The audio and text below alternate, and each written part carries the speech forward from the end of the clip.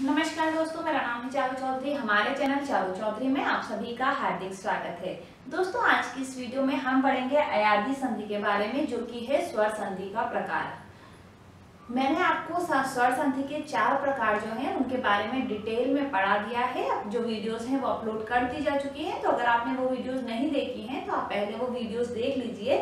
क्योंकि एक वीडियो मेरे द्वारा दी गई है संधि पे, और फिर संधि के जो प्रकार हैं, जैसे स्वर संधि, व्यंजन संधि, विसर्ग संधि, तीनों के लिए ही वीडियोस मेरे द्वारा अपलोड की जाएँगी। तो स्वर संधि के जो चार प्रकार हैं कौन कौन से? जैसे कि दीर्घ संधि, गुण संधि, वृद्धि संधि, यण संधि, ये चारों जो प्रकार हैं, उनके बारे में बता दिया जा चुका है। अब है पांचवा प्रकार अयाधी संधि के बारे में। इस वीडियो में मेरे द्वारा आपको पढ़ाया जाएगा। उससे पहले आपको हमारा जो चैनल है, चारू चौधरी, उसको सब्सक्राइब कर लेना है। सब्सक्राइब करने के बाद में अभी हम जाते हैं अपने मेन टॉपिक पे, अयाधी संधि। अयाधी संधि क्या है, उसके बारे में हम जानेंगे। जैसे कि मैंने आपको बताया, संधि क्या है? संधि होती है वर्णों के मेल को, दो वर्णों के मेल को संधि कहते हैं। जबकि समास में शब्दों का मेल होता है, संधि में क्या होता है? वर्णों का मेल होता है। तो यहाँ पे हम बात कर रहे हैं, क्योंकि हम पढ़ रहे हैं स्वर संधि और स्वर संधि का प्रकार पढ़ रहे हैं हम अयाधि संधि। तो आप हमेशा ध्यान रखिएगा, जब स्वर संधि का प्रकार है तो ये किसके इर्द गिर्द घूमेगा? ये घूमेगा स्वरों के। और स्वर कौन कौन से हैं? स्वर है अ, आ ई ई उ उ, री, ए ए ओ और औ। ये सारे स्वर हैं। तो हम जब भी स्वर संधि की बात करते हैं तो यहाँ पे वर्णों का मेल तो होता है और इसमें इम्पोर्टेंट इम्पोर्टेंट क्या रहता है? सबसे मुख्य जिसपे पूरी जो संधि है, वह आधारित रहती है, वह है स्वरों पर। तो इसीलिए मैंने यहाँ पे स्वर जो है, वो नोट डाउन कर रखे हैं ताकि आपको क्लियर रहे, इससे बाहर हम नहीं जाएँगे। तो अयाधी संधि में क्या होता है दोस्तों? जैसे कि मैंने अपने आपको बाकी जो चार स्वर संधि है, उनके नियमों के बारे में बताया है। अगर आपने नहीं देखा तो पहले आप उनको वॉच कर लीजिए, क्योंकि क्रम से अगर आप पढ़ेंगे तो आपको लंबे समय तक याद रहेगा, अच्छे से याद रहेगा। तो यहाँ पे हम पढ़ते हैं नियम। नियम क्या है? अयाधी संधि का, कि देखिए, ए और कोई भिन्न स्वर का मिलाप हो मतलब वर्ण। यहाँ वर्णों की बात हो रही है, दो वर्ण है, मान लीजिए। जैसे कि मैं यहाँ पे आपको बताती हूँ। पो अक तो हमेशा मैंने आपको बताया है कि दो जो शब्द हैं तो पहले शब्द का अंतिम वर्ण और दूसरे शब्द का प्रथम वर्ण। तो पहला शब्द क्या है? इसका अंतिम वर्ण और दूसरे शब्द का प्रथम वर्ण। इन दोनों के बीच में संधि होती है। तो यहाँ पे क्या है? प्रथम वर्ण, प्रथम शब्द का पहला का जो अंतिम वर्ण है, वो है ए। और ए के बाद में कोई भी भिन्न स्वर आता है, कोई भी स्वर आ जाए तो क्या हो जाता है? ए का हो जाता है आय उसी प्रकार अगर हम ए की बात करते हैं तो ए के बाद में फिर कोई भिन्न स्वर आता है तो उसका हो जाता है आय तो हमेशा ध्यान रखना ए का हो रहा है आय ए का हो रहा है आय अब यहाँ पे है ओ के बाद में कोई भिन्न स्वर आता है तो ओ का हो जाता है औ. और औ के बाद में अगर कोई भिन्न स्वर आता है तो औ का हो जाता है तो यहाँ पे आपको चार बातें मुख्य रूप से ध्यान रखनी है। बहुत ही सिंपल है इजीली आपको याद हो जाएगा। बस आपको क्या करना है, अगर ए के बाद में कोई भी भिन्न स्वर आ रहा है तो अय हो जाएगा। ए मतलब ए के ऊपर मात्रा है और कोई भिन्न स्वर आ रहा है तो उसका आय हो जाएगा। अगर ओ है और ओ के बाद में कोई भिन्न स्वर आ रहा है तो अब हो जाएगा। और अगर औ है और औ के स्थान पे कोई भिन्न स्वर आ रहा है तो औ के स्थान पे क्या हो जाएगा? आ हो जाएगा। कैसे हो जाएगा? ये मैं आपको वीडियो में उदाहरण के द्वारा समझाऊँगी। जब आप उदाहरण सॉल्व करते हैं, जब आप उदाहरण के माध्यम से समझेंगे तो आपको बहुत जल्दी समझ में आ जाएगा। और मैं ये कहती हूँ, आपको प्रैक्टिस करने की भी बहुत ज़रूरत है, क्योंकि कई सारी संधियाँ एक साथ आ जाती हैं और फिर आप देखते हैं। तो जब आप प्रैक्टिस करते रहेंगे तो आपको फटाक से पता चल जाएगा कि अच्छा ए है। तो क्या आना चाहिए? या फिर ऐसा भी आ जाता है नयन दे दिया। और? आपको इसका संधि विच्छेद करना है। तो किस तरीके से आपको थोड़ा सा अभ्यास करने की आवश्यकता रहेगी? क्योंकि आपने नियम याद कर लिया आपने उदाहरण देख लिए आपको परिभाषा ध्यान है फिर आपको काहे की चिंता है इजीली आप कोई भी जो क्वेश्चन है कोई भी जो सवाल है उसको सॉल्व कर सकते हैं। तो यहाँ पे आप देखिए क्या है ये? ने ए।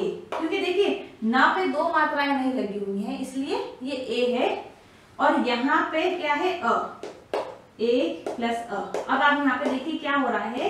ए के बाद में कोई भिन्न स्वर आ रहा है मतलब सेम ए ही नहीं आ रहा है, कोई अलग स्वर आ रहा है ए के अलावा कोई स्वर आ रहा है। तो यहाँ पे यहाँ पे मैंने बताया आपको स्वर कौन कौन से हैं तो ए के अलावा अ आ रहा है, कोई भिन्न स्वर आ रहा है तो इन दोनों को जोड़ेंगे। तो यहाँ पे क्या लिखा है? ए के बाद में कोई भिन्न स्वर आता है तो ए का हो जाता है अय तो यहाँ पे क्या हो जाएगा? अय हो जाएगा। तो अगर ए और अ निकाल दिया हमने, मान लीजिए न, ये किससे कैसे बना है? न प्लस ए प्लस अ प्लस न। तो यहाँ पे क्या हो रहा है? न प्लस ए प्लस अ प्लस न। तो इन सब के बाद में ये नयन बन रहा है। तो ए और ये जो है, ये जुड़ जाएँगे। और क्या हो जाएगा? ये जुड़ने के बाद में क्या हो जाएगा? आय हो जाएगा। तो अ तो इसमें है ही क्योंकि ये अधूरा है। ये हो जाएगा न या न। तो हमेशा ध्यान रखिएगा, जो हलंत रखा रहता है, वो अधूरा रहता है। जैसे ये न के नीचे हलंत है, इसका मतलब ये न पूरा नहीं है। और हलंत हट गया तो न जो है, पूरा हो जाता है। मतलब ये अधूरा है, धन अ। इसमें अ जोड़ा तो ये हो जाएगा न। ठीक है? तो सेम उसी प्रकार अगला उदाहरण हम देखेंगे। यहाँ पे है शे, धन, अ, न। तो यहाँ पे भी उसी तरीके का है। ए है और ए के बाद में कोई भिन्न स्वर आ रहा है, भिन्न स्वर कौन सा आ रहा है? अ आ रहा है। तो ए, धन, अ किया। तो यहाँ पे क्या हो गया? ये दोनों ए और अ मिल जाएँगे और अय जो है, वह आ जाएगा। यहाँ पे आप देखिए, मैंने लिखा है अय। और अय यहाँ पे आ जाने से क्या होगा? यह हो जाएगा शयन।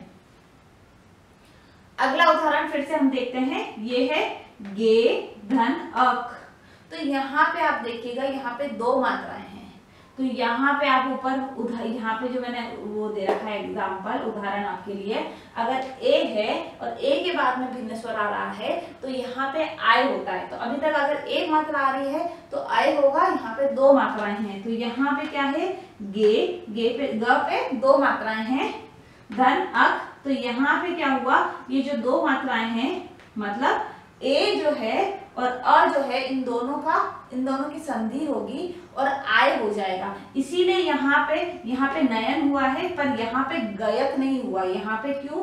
क्योंकि यहाँ पे दो मात्राएँ हैं, इसीलिए यहाँ पर गायक होगा। क्योंकि उदाहरण जो संधि है, इसका नियम यही कहता है कि यहाँ पे ए का हो जाएगा आय। ठीक है? अब यहाँ पे आप देखिए। पो, धन, अन।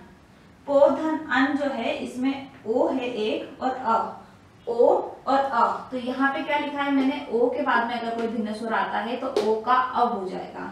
तो यहाँ पे अब तो हुआ है। कैसे हुआ है? प धन ओ धन अ धन न। तो यहाँ पे इन दोनों की संधि हुई है और अब जो है, ये प आधा है तो यह हो जाएगा प व न। इस तरीके से यह पवन हुआ है और यहाँ पे मैंने एक और उदाहरण ऐसा ही दे रखा है ताकि आपको और अच्छे समझ में आए। यहाँ पे पो धन अन है तो यहाँ पे पो पे दो मात्राएँ हैं और यहाँ पे है पो पे एक मात्रा। तो यहाँ पे ध्यान रखिएगा, इसका मतलब ये यहाँ पे बड़ा ओ है और यहाँ पे सिर्फ़ ओ है। तो यहाँ पे आग हो रहा है, इसलिए ये पावन हो रहा है और यहाँ पे एक ही मात्रा है अव आएगा, इसीलिए यहाँ पर पवन हो रहा है। ये दोनों उदाहरण मैंने आपको और अच्छे से क्लियर हो जाए, समझ में आ जाए पूरा कंसेप्ट इसीलिए यहाँ पे लिखे हैं। तो अभी आपको समझ में आया होगा। इसी प्रकार भो, धन अक तो ओ और अ की यहाँ पे संधि हुई तो क्या हो जाएगा? आ हो जाएगा और हुआ है भावक। और ये उदाहरण जो है, ये मेरे द्वारा आपको बताया जा चुका है। तो अभी आप यहाँ पे देखिए कि किस तरीके से ए के बाद में कोई भी भिन्न स्वर आ रहा है तो ए का अय हो रहा है और ए के ऊपर मात्रा है मतलब ए जो है, उसके बाद कोई भिन्न स्वर आ रहा है तो आय हो रहा है, एक मात्रा वाला ओ है तो वहाँ पे अब हो रहा है, दो मात्रा वाला ओ है और कोई भिन्न स्वर आ रहा है तो ओ का हो रहा है आव तो ये चीज़ बहुत ध्यान रखनी है आपको कि यहाँ पे एक मात्रा है, दो मात्रा है। ये चीज़ें जब भी आप एग्ज़ाम्पल करते हैं सॉल्व करते हैं, आपके पास प्रैक्टिस कर रहे हैं, आप एग्ज़ाम में दे रहे हैं तो इन चीज़ों का विशेष तौर पर ध्यान रखें, क्योंकि बहुत ही सिंपल संधि है। अभी आप देखेंगे थोड़ी सी यण संधि ज़रूर थोड़ी सी कठिन है, आपको ज़्यादा अभ्यास की ज़रूरत है, परंतु अयादी संधि जो है बहुत ही सरल है बहुत आसानी से देखते से ही समझ में आ जाता है कि यहाँ पे आयादी संधि है। तो इससे रिलेटेड फिर भी कोई आपके पास क्वेरीज हैं, कुछ क्वेश्चन हैं तो आप मुझे कमेंट बॉक्स में लिख सकते हैं। और अगर आपको मेरी वीडियो पसंद आई है तो आप इसको लाइक कर सकते हैं सब्सक्राइब कर सकते हैं शेयर कर सकते हैं। बहुत बहुत धन्यवाद।